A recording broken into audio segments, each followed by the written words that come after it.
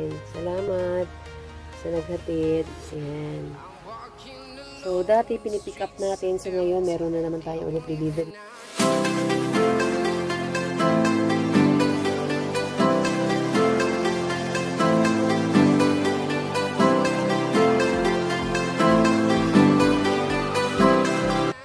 Good afternoon guys. Ah, so, sarado tayo ngayon. Ah, bali Sunday kasi ngayon. So, half day lang yung ating ah, bukas ng ating tindahan. So, mamayang hapon pa po ako magbubukas. Ah, mga 4 p.m. hanggang ah, 9 ng gabi. So, meron tayong delivery. Ah, yung ating mga ah, frozen goods. So, pinadeliver na natin. So, ah, in-order natin kaninang umaga. So, akala ko eh, mamayang hapon pa i-deliver or bukas ng umaga. So, uh, mabuti na lang at uh, na-deliver ng maaga. So, eto, uh, nasa harapan ko ngayon. So, i-hold and price ko sa inyo. At yung halaga ng ating pinamili na frozen ay nasa 7,000 plus. So, uh, mabuti at na kompleto naman yung ating uh, frozen ngayon kasi mga ilang araw ay wala na akong stocks dyan. Kompleto na naman tayo ulit ngayon. So, ito pakita ko sa inyo, i-share ko sa inyo yung uh, presyo ng ating uh, mga frozen. Kasi yung ibang mga frozen goods natin ay tumaas. Yung iba ay uh, steady naman. So, uh, siguro, uh, taas na talaga halos lahat yung ating mga uh, paninda. So, siguro magdadagdag din tayo kung depende sa presyo na binigay sa atin. So, isi-share ko sa inyo uh, para ma-update kayo dun sa aking mga presyo. So, eto guys. So, ito yung ating mga items. Ito, 5 kilo yung binili natin. So, ang retail natin dito ay ginawa natin 12.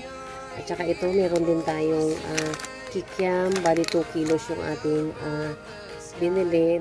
So, 35 pa rin yung ating retail dito. At saka ito, meron din tayong idol. Yung idol natin is ginagawa natin 55 pesos. So, ayan. At saka ito, may bago tayong items. Uh, chicken franks. So, titingnan natin kung magkano ang presyo natin dito. So, ayan. Gagawin natin 55 pesos. So, ito, yung bossing natin. Gagawin na natin tong uh, 45 pesos. Tsaka itong bingo natin, 45 pesos din. Ayan, 2 kilos. Ayan, pare-pareha silang 2 kilos. At saka, itong ating, uh, ito, yung tender juicy natin. Uh, 5 kilos yan. Meron tayong cheese dog. Meron tayong uh, classic. So, ayan. Pang 14 pesos natin ang retail natin dito. So, 5 kilo ito guys lahat. Ayan. At saka itong holiday na footlong natin by 10. So, ginagawa natin 19 pesos na ang isang peraso. At saka ito yung tusino natin. Ginagawa natin 68 pesos ang isang peraso. Yan, 2 kilos din yan. Saka itong CDO na fantastic natin. Gagawin natin uh, uh, 70 na kasi medyo mahal na yung ano natin, fantastic. So, 2 kilos din to. At saka itong CDO na crispy olam burger. Ayan, 1 kilo lang yan kasi meron pa tayong stocks dyan. Tsaka itong ating bagong uh, corned beef holiday. Ayan. So, dati kong, uh, dati ko nang tinitinda ito. So, ngayon meron na tayong ulit panibago. Ayan. So, siguro ang tinda natin dito, igawin natin 50 pesos. Yan. Buy one port yan. So, nag, uh, order tayo ng 2 kilos. Ayan. Para may bago tayong uh, frozen ulit. Kasi parang nakakasawa na yung halos.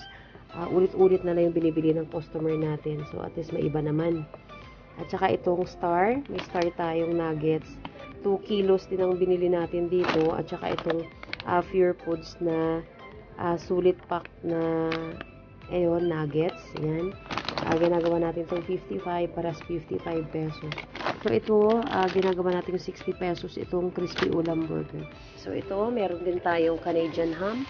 Yung Canadian na ham natin, ay gagawin natin 45 pesos na by 1 port nito. 2 kilos lang yan. Yan. Pinachop na natin kasi para hindi na hassle sa atin uh, kapag binibili yung customer natin.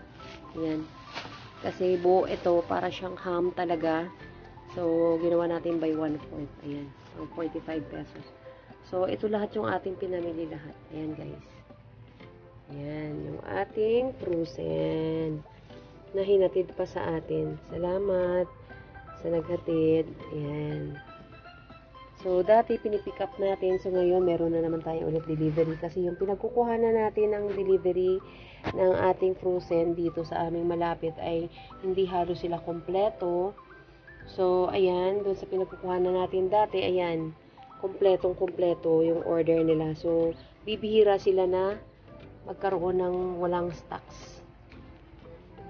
So, palagi talaga sila mayroong stocks. Ayan.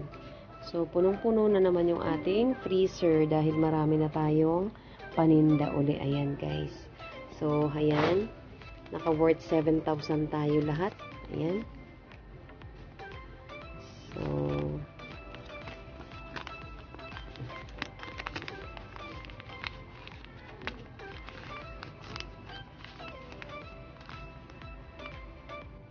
So, ayan. Naka-worth 7,193 tayo lahat. Ayan.